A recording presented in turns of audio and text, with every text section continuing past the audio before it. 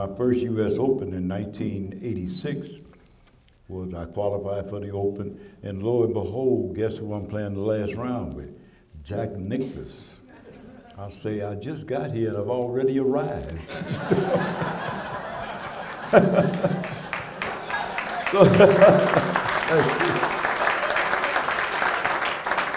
so for some reason that made me feel that I belonged.